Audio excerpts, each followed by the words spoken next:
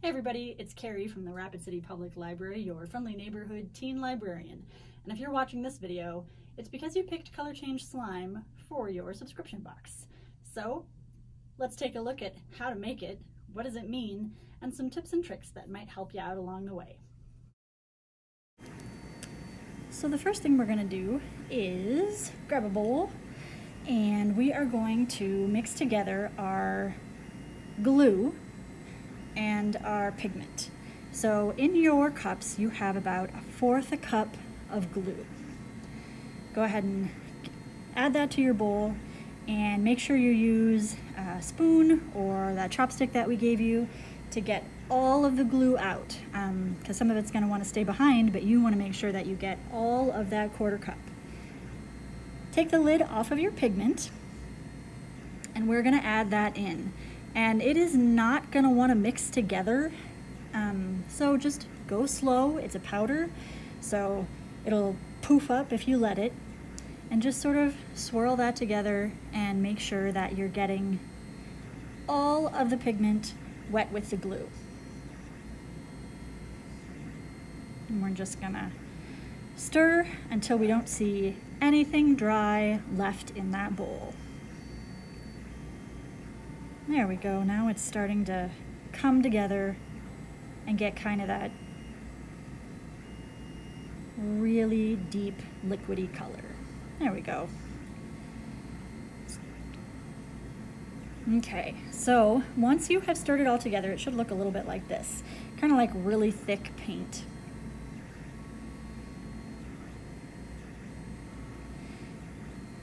And you want to try to do another scrape of those edges, make sure you've got all the dry ingredients mixed together.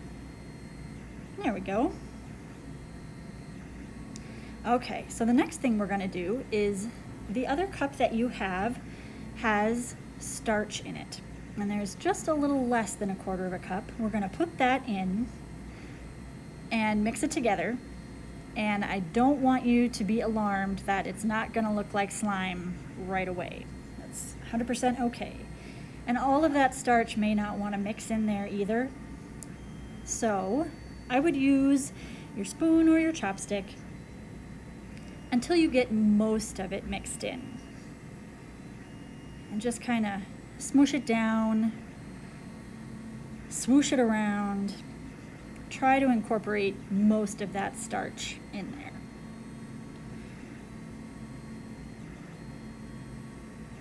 But you're gonna reach a point where all of this kind of gloppy looking liquid, spoon's not gonna do anything anymore, and this is where we gotta get our hands involved. And it, again, it's not gonna feel like slime right away.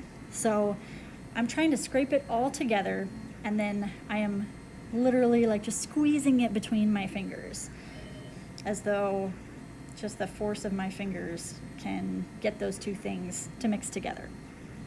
And this is the part that's going to take a little while. And don't worry about it. I promise it will be slime in the end. I honestly do. And it looks kind of like, gosh, I don't know, intestines? I'm not even sure if we've got intestines at this point. But you want to pull it, stretch it, and then squish it in your hands. And you're just gonna keep doing this over and over. But I want you to see, like most of this looks dark purple, but there are spots of light blue on my hands where there's less of it. And that is the warmth of my hands is starting to change the color of my slime already, and I'm not even done mixing it yet.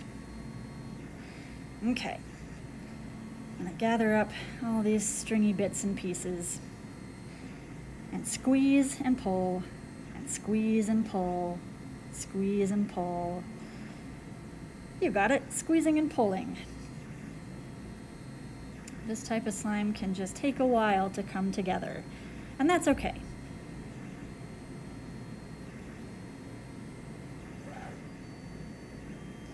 One thing we can do is just let it rest for a little bit. Once you let it sit there for a little bit, already I can start to get kind of a more slime consistency, and I only let it sit there for you know, 30 seconds, a minute. Went to go wash my hands and then come back.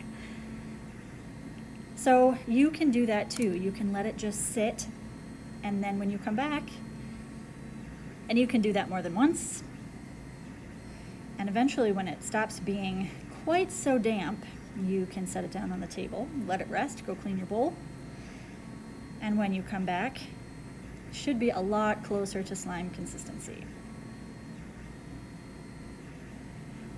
For a while, I would still keep it on countertop so you can wash off, but eventually, once you have it all mixed together,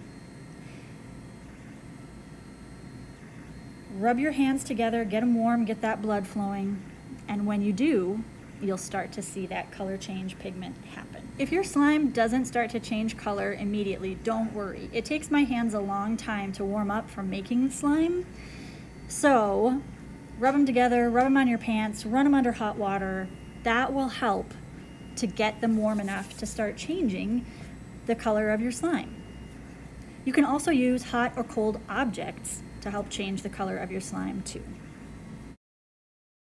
I know I said it, but I'm gonna say it one more time. If you're like me and your hands are always cold, it's not gonna color change right away. Run your hands under warm water, rub them up and down on your pant legs, jump up and down a bunch, really get your blood flowing. You can also use your slime on the hot sides of hot mugs, like if you have some hot cocoa or your mom or dad has some coffee, or cold things. So if you have a cold drink, you can wrap it around the edge of that too and watch it change colors. Hope you had a good time with this one, and I hope to see you back next month with our next Trash Panda Treasure subscription box. Thanks, guys. Bye.